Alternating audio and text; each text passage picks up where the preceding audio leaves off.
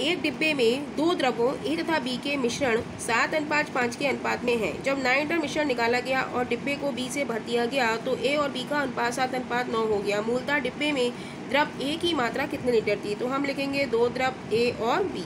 हमारे दो द्रव हैं, जिनका अनुपात कितना है? सात अनुपात पाँच है। जब इसमें नाइन लीटर मिश्रण निकाला गया, नाइन लीटर मिश्रण निकाला और नाइन ही क्या? भर दिया गया। तो सात का अनुपात कित, कितना हो गया इनका अनुपात? सात अनुपात नौ हो गया।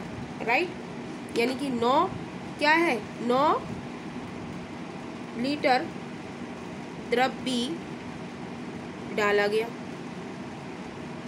तो जब हम डाल रहे हैं द्रव बी तो हमें द्रव ए सेम करना पड़ेगा लेकिन यहाँ पर द्रव ए सेम है।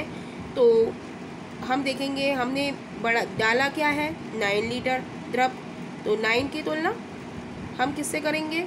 हम देखेंगे कि वृद्धि कितने की हो रही है? पाँच से कितने की हो रही है? नौ हो रहा है। वृद्धि कितने की हो रही है? चार की। और जब मिश्रण निकाल कर उसमें कोई द्रव भरा जाता है तो हम नीचे वाला क्वांटिटी लेते हैं। इसका एडिशन करेंगे नौ, सात, सोलह। सोलह से मल्टीप्लाई कर देंगे। चार चौक सोलह, यानी कि नौ चौक छत्तीस।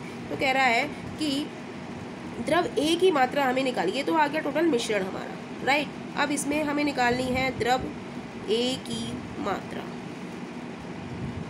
तो टोटल में से, छत्तीस में से, छत्तीस को हम किससे डिवाइड करेंगे? टोटल से, मिश्रण से, सात और पाँच का ऐड करेंगे तो क्या हो जाएगा? बारह। और निकालनी किसकी है हमें? ए की ए की मात्रा कितनी है? सात। तो सात से मल्टीप्लाई कर देंगे। तो बारह तियाँ छत्तीस, यानी कि थ्री क्रॉस सेवन यानी कि ट्वेंटी वन लीटर यानी कि ऑप्शन हमारा सी इज़ राइट ऑप्शन हो जाएगा।